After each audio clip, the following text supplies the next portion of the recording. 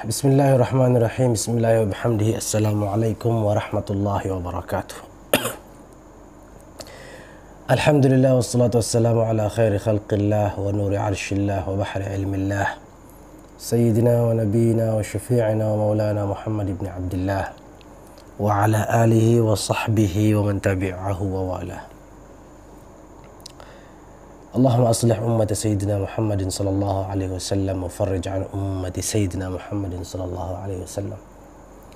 وأرحم أمة سيدنا محمد صلى الله عليه وسلم وانشر واحفظ وأيد نهضة الوطن في العالمين بحق سيدنا محمد صلى الله عليه وسلم.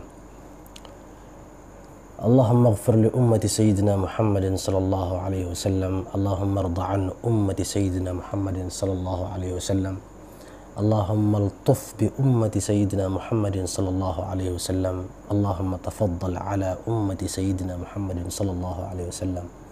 اللهم استر أمة سيدنا محمد صلى الله عليه وسلم. آمين يا رب العالمين. ثم أما بعد. saudara-saudariku dimanapun berada puji syukur kehadirat Allah subhanahu wa ta'ala senantiasa kita panjatkan. uh, dalam setiap keadaan. Ala kulli hal wa fi kulli halin wa ni'mah. Betapa besarnya nikmat Allah Subhanahu wa taala. Walaupun dalam keadaan kesulitan, kesusahan, ditimpa musibah, ditimpa bala, ditimpa wabah dan lain sebagainya tetap semuanya itu tidak mampu mengalahkan dahsyatnya nikmat Allah Subhanahu wa taala kepada kita semua. Karena itu alhamdulillah sekali lagi ala kulli hal wa fi kulli hal wa ni'mah.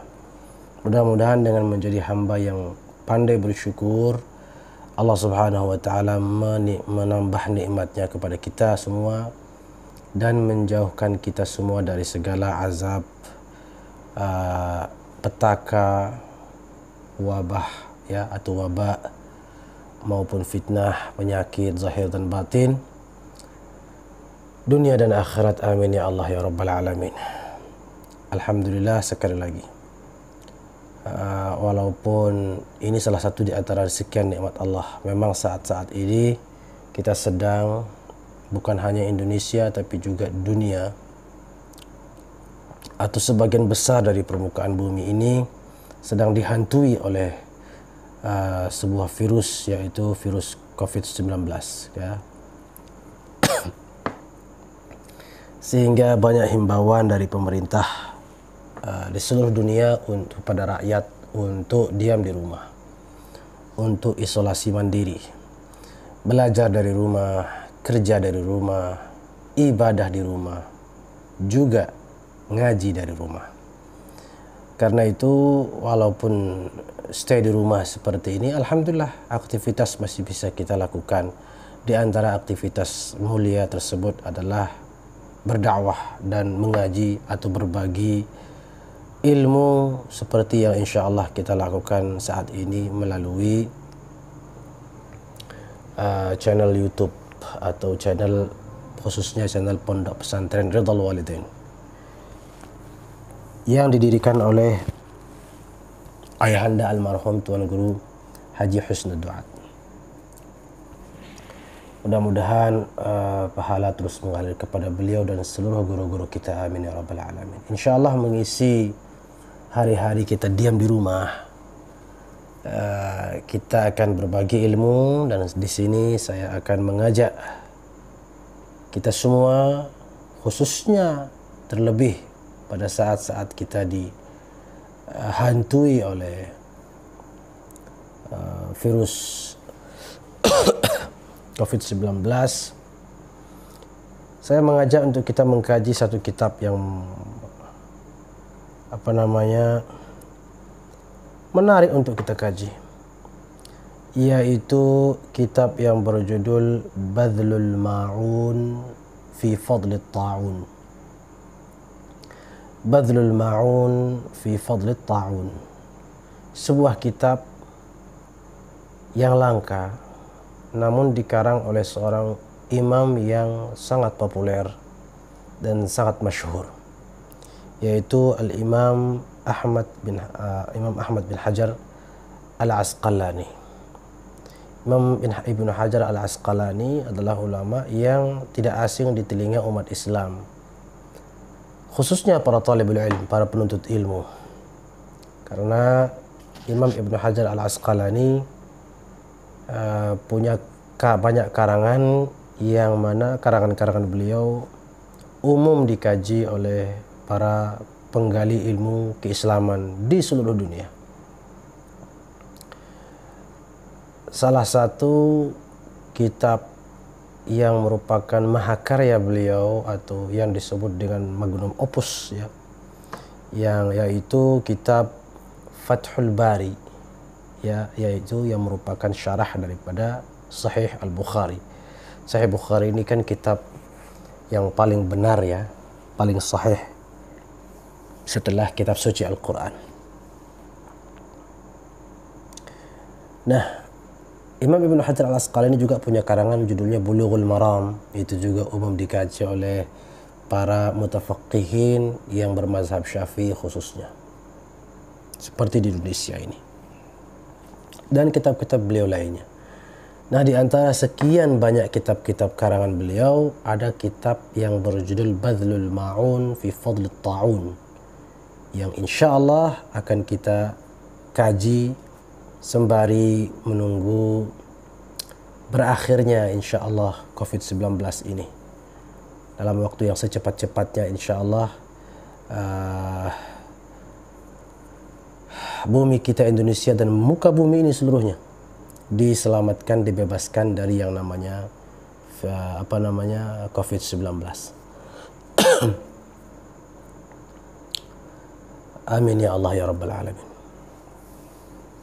Yang penting selain berdoa mari kita berikhtiar juga.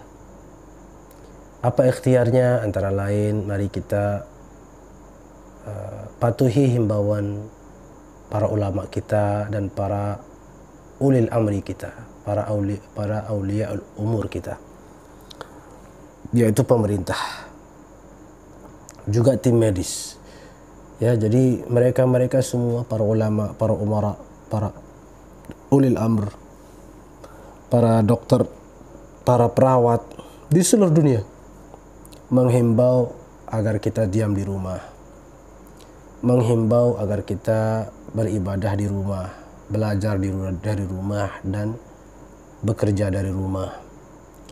Juga yang lebih penting juga yang tidak kalah penting adalah kita menjaga pola hidup sehat dan bersih dan semaksimal mungkin meningkatkan uh, sistem kekebalan tubuh kita, meningkatkan daya tahan tubuh kita uh, atau apa namanya uh, sistem imunitas kita itu kita jaga dan tingkatkan semaksimal-maksimalnya.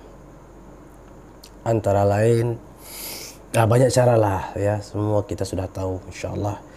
Uh, cuma di sini saya ingin berbagi salah satu uh, apa namanya pesan atau saran dari Maulana Al Habib Muhammad Lutfi bin Ali bin Hashim bin Yahya. Beliau adalah Rais Al-Muntada As-Sufi Al-Alami, juga Rais Am Jam'iyah ahli tariqah al-mu'tabarah an-nahdiyah dan uh, tidak lama ini beliau dilantik sebagai anggota uh, Dewan Pertimbangan Presiden Republik Indonesia. Beliau menyarankan agar serutin mungkin, ya mungkin sekali dalam sehari setidaknya, itu mengkonsumsi bawang merah tiga biji mentah.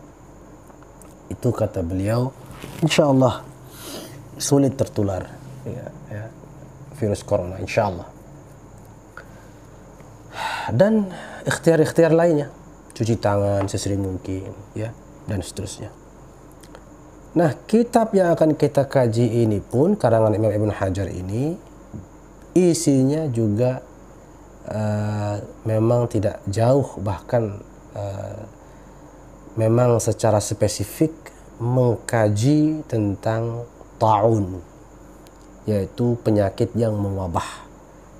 Taun. Wabah atau penyakit ya penyakit wabah penyakit yang menular dengan cepat dan uh, apa namanya dan pada waktu yang singkat.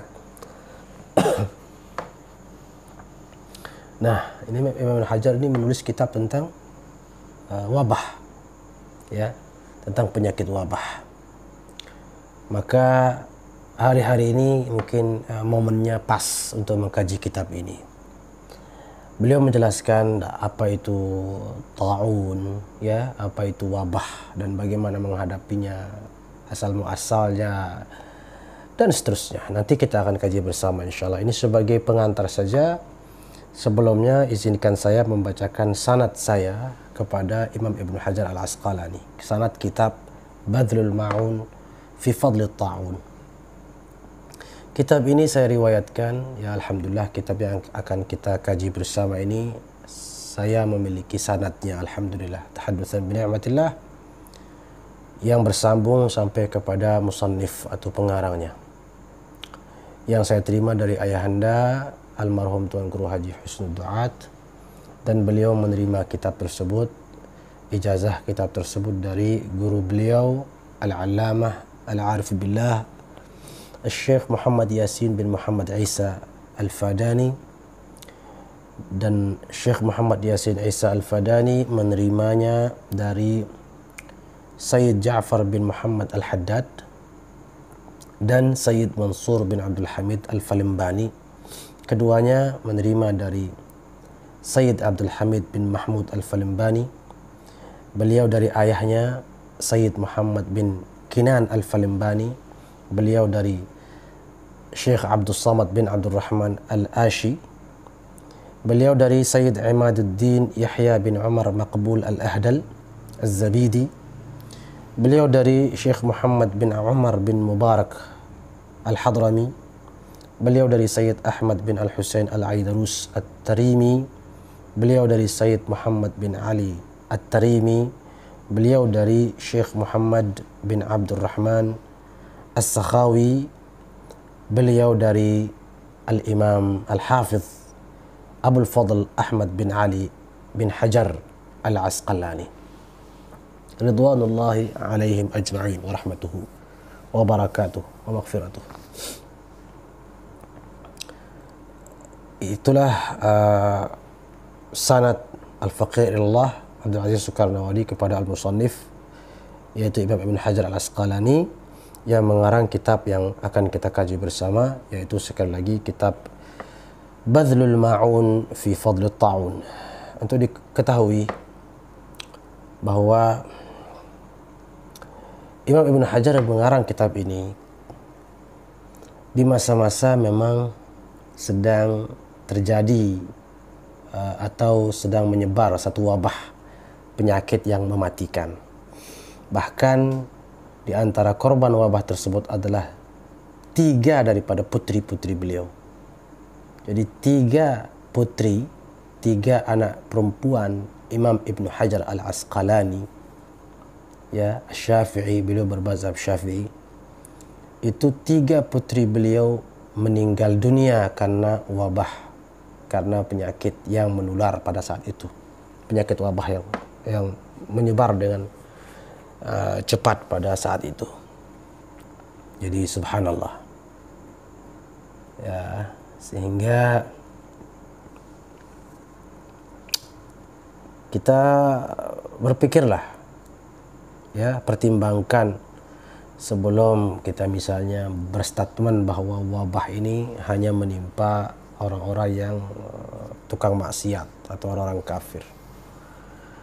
Ya, ini putri seorang imam besar, imam seorang hafiz juga wafat tiga tiga tiga perempuan, tiga anak perempuan sekaligus, walaupun dalam waktu yang uh, tidak bersamaan, tapi juga tidak jauh kalau tidak salah semuanya dalam satu tahun. Nanti kita akan tahu lebih detailnya. Karena itu alangkah afdalnya saya mengajak kita semua untuk mengenal terlebih dahulu pengarang. Kita baca biografinya, kita baca manaqib beliau. karena sebagaimana ungkapan seorang imam yaitu Imam Sufyan bin Uyainah kalau tidak salah. nah ini saya batuk ini mudah-mudahan ya tidak ada virus-virus yang Taib. Beliau mengatakan Imam Sufyan bin Uyainah, "Bidzikri salihin tanzilur rahmah." Dengan menyebut-nyebut, mengenang atau membaca manaqib orang-orang saleh, kasih sayang Allah, rahmat Allah itu bercucuran. Karena itu mudah-mudahan dengan membaca manaqib Imam Ibn Hajar Al-Asqalani, rahmat Allah pun berlimpah kepada kita semua sehingga wabah COVID-19 ini lekas berakhir. Amin ya Allah ya Rabbal Alamin. Berkat para awliya Allah salihin. Beliau adalah Al-Imam Al-Hafiz yang dijuluki Khulasatul Huffaz. Imam Ahmad bin Ali bin Muhammad bin Muhammad bin Ali bin Mahmud bin Ahmad bin Ahmad Al-Kinani Al-Asqalani Al-Misri Al-Qahiri Al-Syafi'i yang populer dengan sebutan Ibnu Hajar atau Imam Ibnu Hajar. Uh, beliau lahir pada tahun 773 Hijriah dalam keadaan yatim. Ya. Yatim berarti ayahnya wafat ketika dia masih kecil. Dan ya beliau lahir di Mesir ya. Beliau lahir di Mesir. dan berguru pada banyak ulama. Nah, di antara guru-guru beliau di sini disebutkan ya banyak ya. Antara lain uh, Imam Zain Syekh Zainuddin Abdul Rahim Al-Iraqi ya seorang ulama yang terkenal. Kemudian antara lain juga para musnidin musnidin pada masanya ya. Antara lain Syekh Majududdin Asy-Syairazi ya dari Yaman kemudian Syekh Sirajuddin Al-Balqini atau Al-Bulqaini ya dan ulama-ulama besar lainnya. Beliau menikah pada usia 25 tahun ya. Istri beliau eh, namanya tidak tahu ini bacaannya Anas atau Uns. Allahu alam Beliau putri seorang hak, seorang qadhi, seorang hakim pada masa itu yaitu Al-Qadhi Karimuddin Abdul Karim bin Abdul Aziz. Dan beliau Imam Ibn Hajar memiliki lima putri. Ya. ya perempuan semua kayaknya anak beliau ini. Ada satu putra namanya Muhammad, tapi dari istri yang lain istri kedua. Istri pertama lima perempuan ya anaknya yaitu Zain Khatun, Farhah, Aliyah, Rabi'ah dan Fatimah. Uh, subhanallah yang keempat ini namanya Rabi'ah artinya yang keempat sebagaimana Siti Rabi'atul Adawiyah juga beliau putri yang keempat sehingga dinamakan oleh ayah beliau Rabi'ah al-Adawiyah karena memang perempuan yang wanita anak perempuan yang keempat Imam Ibn Hajar juga demikian. Putri yang keempat beliau disebut dinamakan Rabi'ah. Ya, adapun yang kelima dinamakan Fatimah. Ada kesalahan yang sering saya temukan di absen-absen yang namanya Rabi'atul Adawiyah ditulis Arabnya Rabi'atul Adawiyah. Tidak, yang benar Rabi'ah al-Adawiyah. Karena memang Siti Rabi'ah al-Adawiyah itu memang anak ke, anak perempuan yang keempat sehingga dinamakan Rabi'ah. Kalau memang nama Rabi'atul Adawiyah diambil dari Siti Rabi'atul Adawiyah waliullah yang salihah itu maka ya namanya ya nama penulisannya ya sesuai yang sebenarnya sesuai nama beliau gitu maksudnya itu Rabi'ah pakai alif. Tidak bukan Rabi'ah pakai ya tidak. Jadi saya temukan seperti itu. Taib. Jadi ah, yang putra yang keenam laki-laki ya. Yaitu namanya Muhammad. Taib, karangan-karangan beliau sekarang. Oh, Masya Allah. Beliau ini ulama besar ya, luar biasa. Uh, di sini disebutkan banyak sekali. Antara lain, ya Fathul Bari, jelas ya. Bulughul Maram. Kemudian ada lagi judulnya Asbab Nuzul Al-Quran. Ada lagi judulnya Al-Amali, Al-Amali, Al-Halbiyah, Al-Halabiyah ada lagi al-imta' bil arba'in al-mutabayinah bi syart sama' uh, terus tasdidul qaus fi mukhtasar musnad al-firdaus kebanyakan memang karangan beliau tentang ilmu hadis ya. Karena beliau adalah seorang hafiz hafiz ini kan ribuan hadis ya. Ratusan ribuan ratusan ribu hadis yang dihafal. Beserta sanadnya. Sebutlah hafiz paling tinggi derajatnya hafiz. Karena ada hafiz ada muhaddis ada hujjah kan itu ada di ilmu hadis kita pelajari. Ada lagi judulnya kashfus satr an hukum salati ba'dal watr atau ba'dal witr. Uh, dan kitab-kitab lainnya yang di antaranya adalah kitab yang akan kita kaji bersama insyaallah yaitu Badlul Ma'un في فضل الطاعون طيب mungkin uh, cukup barangkali takutnya pada penasaran kan ya, isi kitabnya apa isi kitabnya luar biasa ya kita akan baca bersama nah ini di sini ada sekitar kita ada sekitar 400-an halaman ya ada 400-an halaman. Insya Allah kita khatamkan. Insya Allah mudah-mudahan kita semua diberi umur panjang dalam keadaan sehat walafiat dan dijauhkan dari segala yang kita tidak inginkan.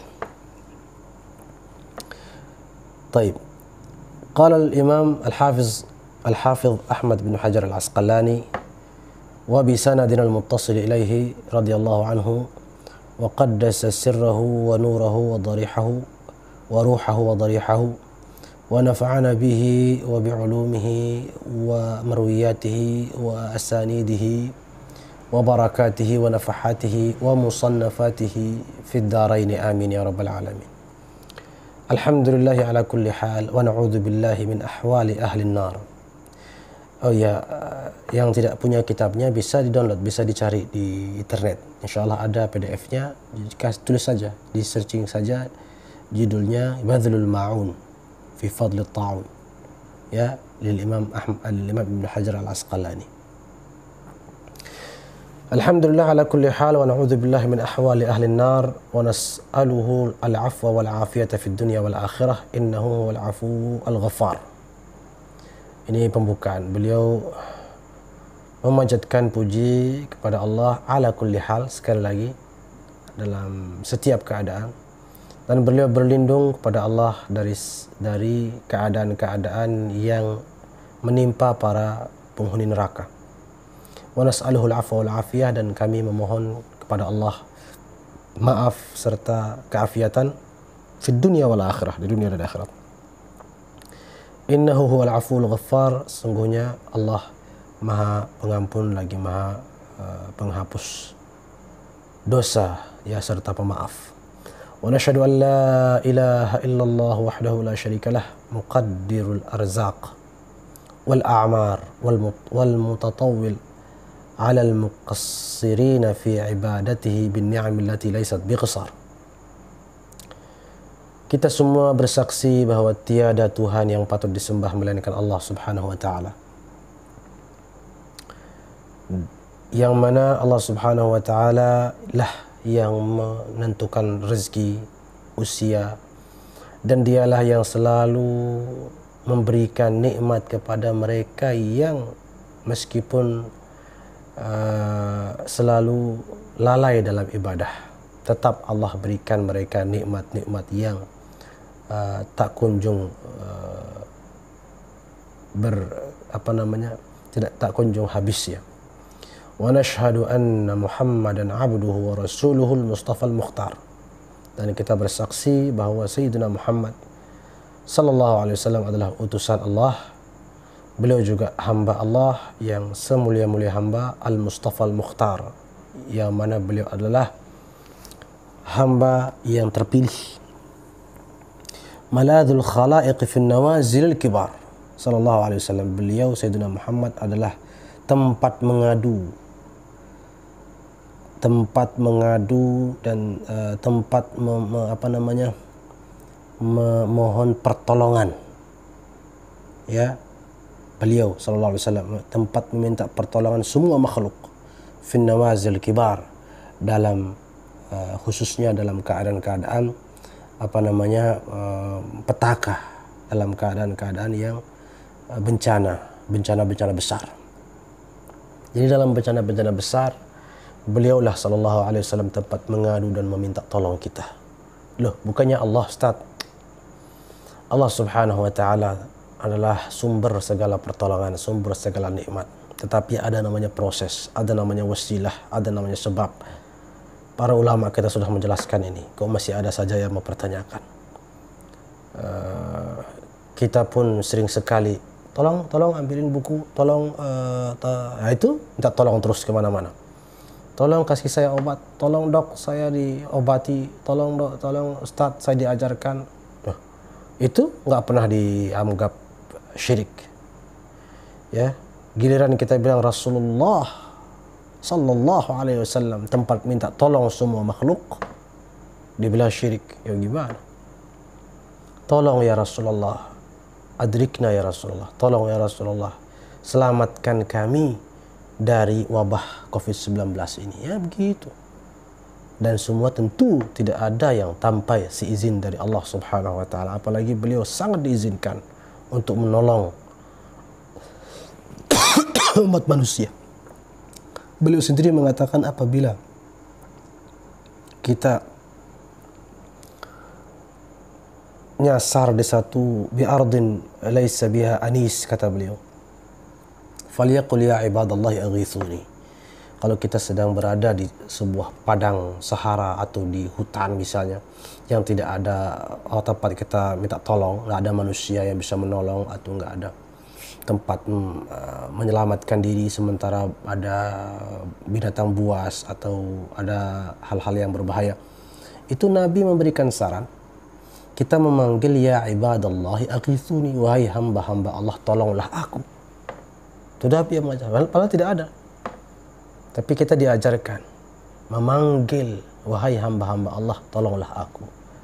Fa inna lillahi ibadan uh, khuliqu liqada'i hawaijin nas. Atau kama qala sallallahu alaihi wasallam. Beliau mengatakan karena Allah memiliki hamba-hamba pilihan yaitu para walinya yang memang diciptakan dan diutus dan diangkat derajatnya oleh Allah untuk menolong manusia. Maka panggillah beliau-beliau itu. Beliau-beliau pasti mendengar. Nah itu. Nah terus itu hamba-hamba Allah para wali. Lalu beliau sendiri gimana Rasulullah SAW? Syirikkah kita kemudian meminta pertolongan dari beliau? Maka tadi itu kita sering mendengar nadrah ya Rasulullah, madad ya Rasulullah, al-madad, al-madad ya Rasulullah. Uh, tolong kami, tolong kami, kuatkan kami, selamatkan kami ya Rasulullah sallallahu alaihi wasallam dan memperbanyak selawat juga bagian daripada kita memohon pertolongan dari Allah melalui perantara Rasulullah sallallahu alaihi wasallam. Taib.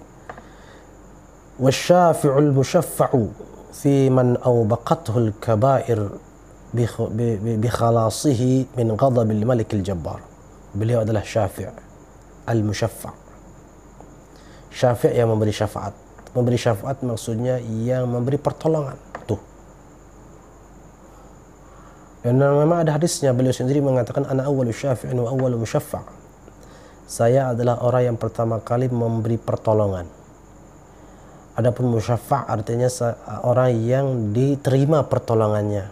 Maksudnya tidak oleh Allah. Jadi Rasulullah memberikan pertolongan kepada kepada kita atas segala dosa yang kita uh, apa namanya pikul selama di dunia. Ketika di akhirat kita nauzubillah mungkin uh, jauh-jauh lah ya. Uh, berhak atau pantas dimasuk dicampakkan ke neraka waliyadzubillah namun Rasulullah sallallahu alaihi wasallam datang menolong kita menolong kita ini maksudnya uh, me, apa namanya menegosiasikan kepada Allah untuk keselamatan keselamatan kita maka musyaffa' artinya beliau pun Uh, diterima oleh Allah permohonannya untuk menolong kita untuk menyelamat untuk keselamatan kita. Amin ya Allah ya rabbal alamin. Bahkan dalam satu hadis kan syafaati li ahli kabairi min ummati. Ya, orang-orang yang banyak berbuat atau yang berbuat dosa besar sekalipun akan mendapatkan syafaat dari Rasulullah SAW dengan catatan-catatan tentunya Antara lain dia percaya ada syafaat. Antara lain dia banyak-banyak baca selawat. Antara lain dia sangat cinta kepada baginda Rasulullah Wasallam, sangat rindu kepada beliau, ya, dan seterusnya. Sallallahu alaihi wa ala alihi al abrar salatan wa salaman daimaini ana al-laili wa atraf an-nahar. أما بعد فقد تكرر سؤال الإخوان نفع الله بهم في جمع الأخبار الواردة في الطاعون مع شرح غريبها وتيسير معانيها على الأفهام وتقريبها وتبيين أحكامها وتحسين أقسامها فأجبت رغبتهم في ذلك والله والله أسأل الإعانة في جميع المسالك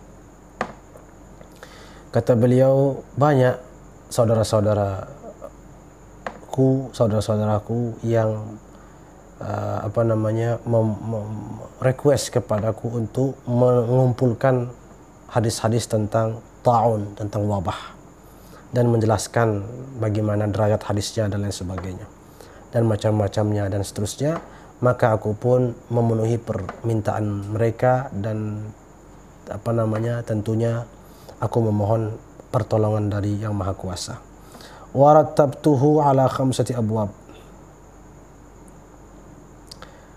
dan aku bagi kitab yang tentang itu pada lima bab. Bab pertama fi mabda'ihi ya mungkin mabda ini asal muasalnya.